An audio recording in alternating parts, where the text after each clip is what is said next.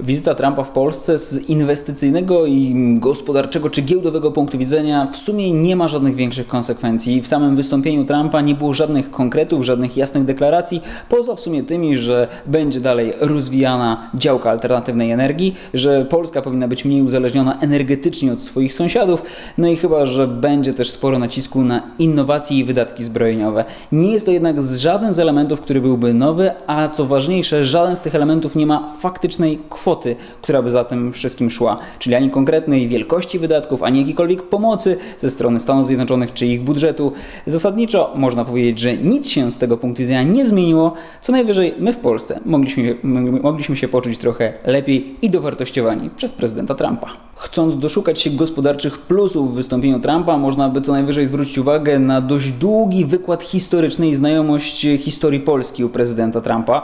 co wprost może u niektórych inwestorów zagranicznych skłonić ich do zainteresowania się czy to historią, czy gospodarką bezpośrednio Polski, no a stąd już tylko krok do jakiejś inwestycji, do zobaczenia szans i perspektyw wzrostu gospodarczego, którym Polska akurat w pierwszym półroczu 2017 roku może się śmiało chwalić. Więc ten element mógłby teoretycznie pomóc polskiemu złotemu zwiększyć w Polsce inwestycje, ale trzeba pamiętać, że od deklaracji do czynów i do wydatków jest czasem dość długa droga.